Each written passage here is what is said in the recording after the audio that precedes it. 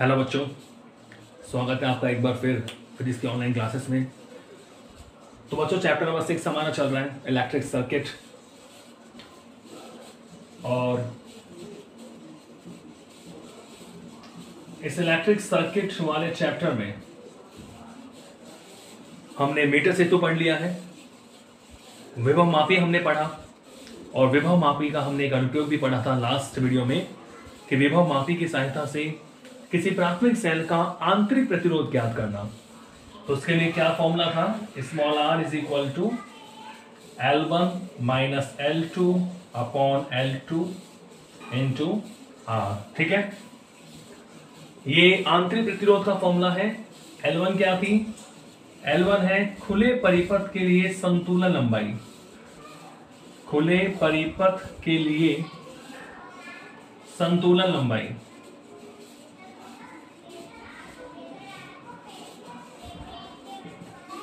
खुला परिपथ कौन होता है? जिसका हम आंतरिक प्रतिरोध निकाल रहे हैं, वो खुले परिपथ में यानी उससे कोई धारा प्रवाहित नहीं होती। वैल वन है। एल टू क्या होता है? बंद परिपथ के लिए संतुलन लंबाई। और कैपिटल आर क्या था? ज्ञात प्रतिरोध। कैपिटल आर क्या था? ज्ञात प्रतिरोध। तो इस फॉर्मूले से हमने विभव मापी की सहायता से प्राथमिक सेल का क्या निकाला था? आंतरिक प्रतिरोध निकाला था। ठीक है बच्चों? तो आज का हमारा टॉपिक क्या है? हम विभव मापी के अनुप्रयोग पढ़ेंगे हम। विभव मापी का एक अनुप्रयोग हम पढ़ चुके हैं कि प्राथमिक सेल का आंतरिक प्रतिरोध ज्ञात करना। और जो सेकंड अनुप्रयोग हम पढ़ेंगे आज आज का टॉपिक हमारा जो सेकंड एक, एक जो एक्सपेरिमेंट है जो इसका एप्लीकेशन है वो पढ़ेंगे वो क्या है? कि विभव मापी विभव मापी की सहायता से, विभव मापी की सहायता से दो प्राथमिक सेलों, प्राथमिक सेल, ठीक है? प्राथमिक सेल आप जानते हो प्राइमरी सेल विभव मापी की सहायता से दो प्राथमिक सेलों के विद्युत वाहक बलों की, विद्युत वाहक बलों की तुलना करना।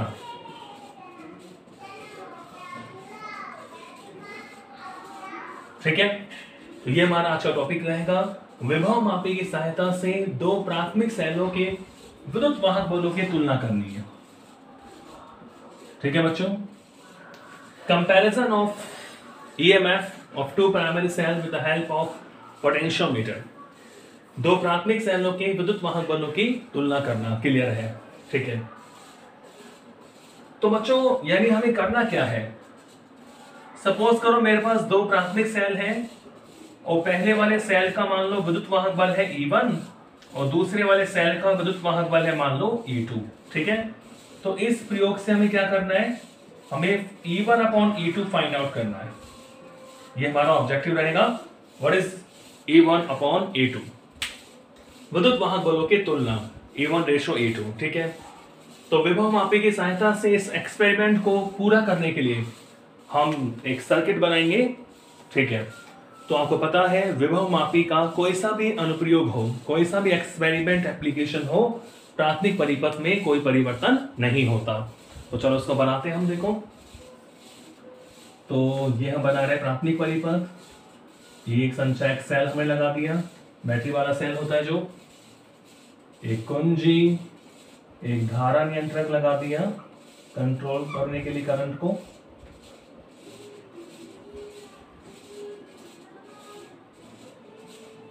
ठीक है? तो ये आपको पता है, विभव मापी का तार होता है।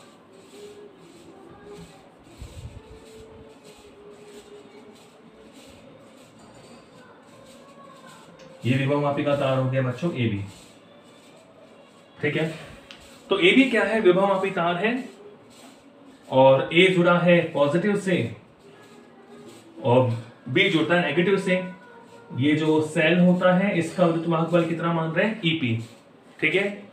ये एक संचायक सेल है और ये मानव कुंजी हमारे पास है कि और ये धारा नियंत्रक आर एच ठीक है? कुंजी लगी हुई है तो सर्किट में क्या फ्लो होगा? करंट फ्लो होगा। ठीक है? प्लस टू माइनस क्यू तो सेल कुंजी धारा नियंत्रक श्रेणी क्रम में विभव मापी तार के ए और बी बिंदु से जोड़ देते हैं। तो अब ये बन चुका है हमारा प्राथमिक परिपथ। ठीक है? अब देखिए। हमें जिन सेलों के विद्युत वाहक बलों की तुलना करनी है, हमें जिन प्राथमिक सेलों के विद्युत वाहक बलों की तुलना करनी है, उसको जोड़ते हैं अपन सेकेंडरी सर्किट में यानी द्वितीय परिपथ में, ठीक है? अब देखिए। मान लो पहला सेल में जोड़ू। ये सेल हो गया मान लो ई वन प्लस माइनस, ये मैंने सेल जोड़ दिया ई वन यानी ई वन इसका विद्युत वाहक बल है। इसका पॉजिटिव जोड़ दिया मैंने विभव मापी के हाई वोल्टेज वाले पॉइंट से, यानी ए बिंदु से, ठीक है? और माइनस वाला जो सिरा है बच्चों, ये मैं एक कुंजी होती है टू वे की, द्विमार्गी कुंजी। उसमें अपन दो प्लग लगा सकते हैं। इस तरह। तो बच्चों एक्स ये वाई और जेड ये टू वे की होती है, द्विमार्गी कुंजी से बोलते हैं, द्विमार्गी कुंजी। क्या बोलते हैं इसको? द्विमार्गी कुंजी। तो यहाँ हम दो प्लग लगा सकते हैं। एक प्लग हम यहाँ लगा सकते हैं, एक प्लग यहाँ लगा सकते हैं। तीन सिरे हो गए एक्स वाई जेड तो मैंने सेल E1 का जो पॉजिटिव है, वो पॉइंट ए से जोड़ दिया और इसका नेगेटिव मैंने एक्स सिरे से जोड़ दिया। ठीक है? अब बचा वाई और जेड तो वाई वाले सिरा जो होता है इसका, द्विमार्गी कुंजी का जो मध्य वाला सिरा है, उस वाई वाले सिरे के साथ हम गैल्वेनोमीटर जोड़ते हैं, धारा मापी जोड़ते हैं और धारा मापी का दूसरा सिरा हमेशा की तरह एक जोकी से हम जोड़ देते हैं। ठीक है? वाई वाला सिरा हो गया, अब बचा जेड सिरा। अब जो हमारा दूसरा वाला सेल होगा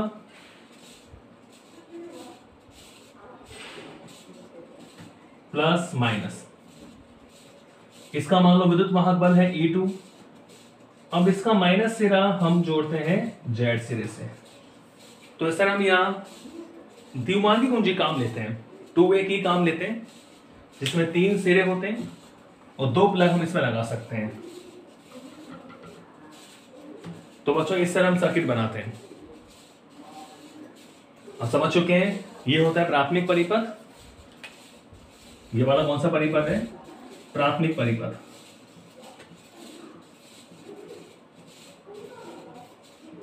ठीक है? और ये वाला जो नीचे जुड़ा हुआ है वो है द्वितीय परिपथ, यानी गौण परिपथ। क्लियर है?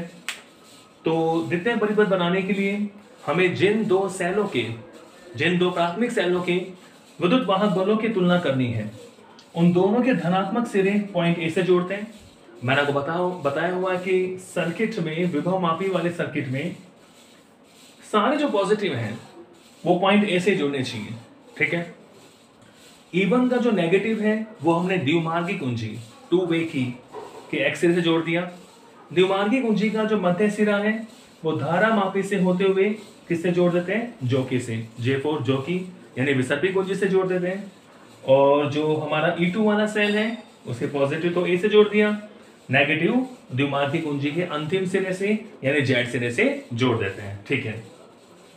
तो अब करते कैसे हैं?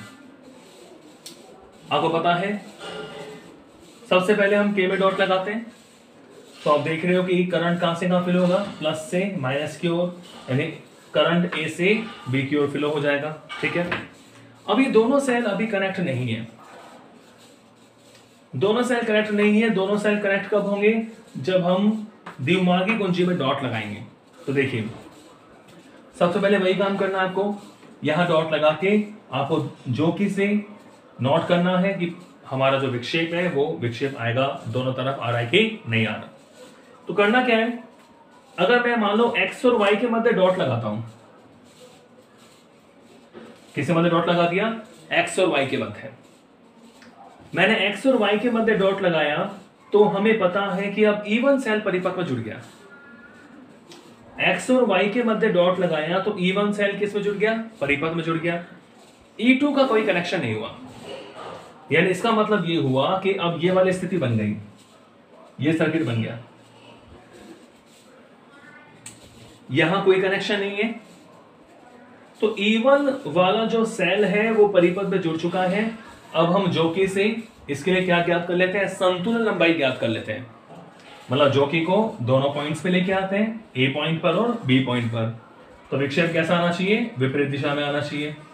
अगर मान लो ए पॉइंट पर आ रहा है राइट साइड तो बी पॉइंट पे क्या आना चाहिए? लेफ़्ट साइड आना चाहिए, ठीक है? तो बीच में कहीं ज़ीरो भी आएगा। क्योंकि तो उसी को तो क्रॉस करके गई होगी सुई एक साइड से दूसरी साइड की ओर। तो हम क्या करेंगे?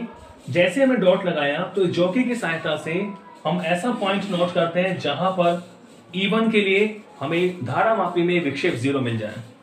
तो सपोज़ करो, यदि सेल E1 के लिए, यदि सेल E1 के लिए संतुलन लंबाई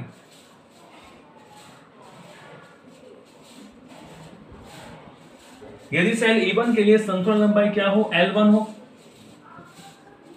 ठीक है? संतुलन लंबाई का मतलब है एक ऐसा पॉइंट जिसके लिए धारा मापी में विक्षेप क्या आ जाए? ज़ीरो आ जाए। उस बिंदु की, इस बिंदु ए से लंबाई क्या कहलाती है? संतुलन लंबाई। तो यदि सेल E1 के लिए संतुलन लंबाई L1 हो तो आप क्या लिख सकते हो? तो विभव मापी हो तो विभव मापी के सिद्धांत से विभव मापी के सिद्धांत से। क्या लिख सकते हो? बिल्कुल आपको पता है कि E1 one is equal to x L one equation number first x क्या होती है? विभव प्रवणता। जहाँ x मेरे पास है विभव प्रवणता। X क्या है भाई? विभव प्रवणता, ठीक है? अब हम क्या करेंगे? E1 और E2 के मध्य डॉट को हटा है ठीक है? अब E1 डिस्कनेक्ट हो गया। अब डॉट को हम किसके मध्य लगा देंगे? Y और Z के बीच में लगा देंगे। जो डॉट हमने, जो प्लग हमने X और Y के बीच में लगा रखा था, अब उस X और Y के बीच में से हटाकर अब डॉट कहाँ लगा देंगे? Y और Z के बीच में लगा देंगे। तो कनेक्शन कुछ ऐसा हो जाएगा। तो यानी परिपथ में कौन सा सेल जुड़ गया? E2 सेल जुड़ गया। तो वही जो की सहायता से एक ऐसा पॉइंट नोट करते हैं, जिसके लिए विक्षेप क्या आ जाए? ज़ीरो आ जाए धारा मापी में। तो यदि सेल E2 के लिए, यदि सेल E2 के लिए संतुलन लंबाई, यदि सेल E2 के लिए संतुलन लंबाई L2 हो। तो सेल ए टू के लिए संतुलन लंबाई एल टू हो तो वही विभव मापी के सिद्धांत से क्या लिख सकते हो आप? कि E2 is equal to x L two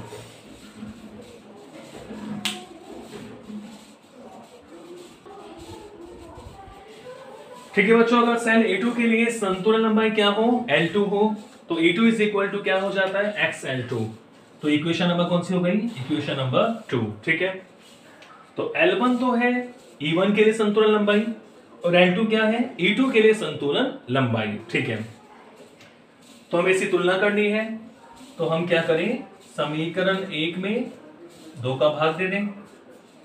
तो LHS LHS में भाग जाएगा E1 upon E two is equal to क्या हो जाएगा? X L one upon x L two देखो एक्स एक्स कैंसिल हो गया। यानी तुलना करने के लिए हमें विभव प्रवणता की ज़रूरत नहीं है। तो केवल लंबाई से काम चल जाएगा। तो E1 one upon E two is equal to क्या आ जाएगा? L1 one upon L two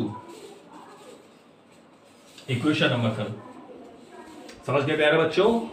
तो दो सेलों के विद्युत वाहक बलों का जो अनुपात है समीकरण तीन क्या कह रही है हमसे?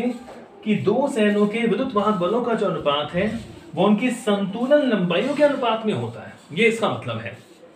E1 one upon E two is equal to L one upon L two दो सेलों के विद्युत वाहक बलों का अनुपात उनकी संतुलन लंबाइयों के अनुपात के बराबर होता है। ठीक है? E1 one upon E two is equal to L one upon L two तो जो ये तो एक रीडिंग होगी, एक पाठ्यांक होगा। नेक्स्ट हम क्या चेंज करेंगे? नेक्स्ट चेंज करने के लिए हम क्या करेंगे? धारा नियंत्रक से परिपथ के रेसिस्टेंस को चेंज करेंगे। परिपथ के प्रतिरोध को चेंज करेंगे। तो वहाँ से आपको फिर E1 E2 की रीडिंग्स कुछ अलग मिलेंगी।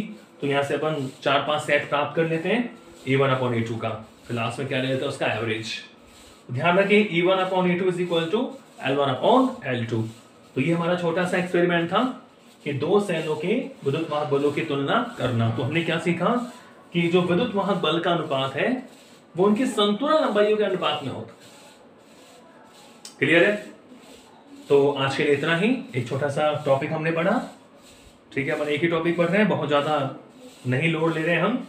केवल एक ही टॉपिक हम पढ़ रहे हैं। एक टॉपिक कंप्लीट करना है। क्लियर है? तो ये आपका हो चुका है। नेक्स्ट हम अगले वीडियो में पढ़ेंगे। Good bye